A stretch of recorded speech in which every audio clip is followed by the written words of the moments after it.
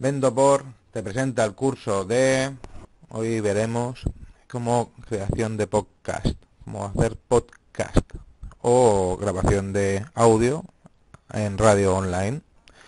Bueno, primero es por supuesto Apple, Apple iTunes. El que Apple iTunes ahora está dando muy fuerte por, los, por los podcasts, con lo cual, bueno, si Apple apuesta por ellos, Mm, dar por sentado que será un producto el cual eh, se va a poner al día. Entonces la creación de podcast es muy buena para los ratos de metro o de transportes públicos. Bueno, el primero es, el, después el segundo es podcast.es, que también podéis subir los podcasts o las grabaciones de audio. Ebooks, ebooks.com, también podéis subir vuestro podcast.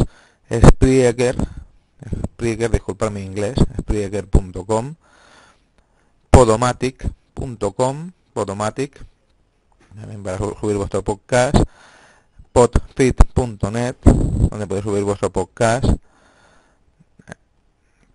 podcast Alley, Alley, disculpar mi inglés de nuevo, también podéis subir vuestro podcast o vuestra grabación de audio, live365.com, también un buen sitio, Luego boderato.com, donde podéis subir vuestros podcasts o grabaciones de audio, también recomendado. Luego tenéis ya por penúltimo lugar a Yodio, ya vamos por el décimo lugar, yodio.com, donde podéis subir vuestras grabaciones de audio. Y Hipcast, hipcast.com, donde es una publicación de, de podcast o de audio audio digital muy completo, bueno, con un montón de herramientas como estáis observando, el cual es digno de estudiar a fondo. Bueno, hasta aquí los 10, 11 lugares donde subir podcast. Vamos a hacer un repaso. ICAS, Yodio, Poderato, Live 365, Podcast Alley, Podfeed.net, Podomatic, Spreaker, Evox, Podcast y por supuesto iTunes. Bueno, hasta aquí la creación de podcast.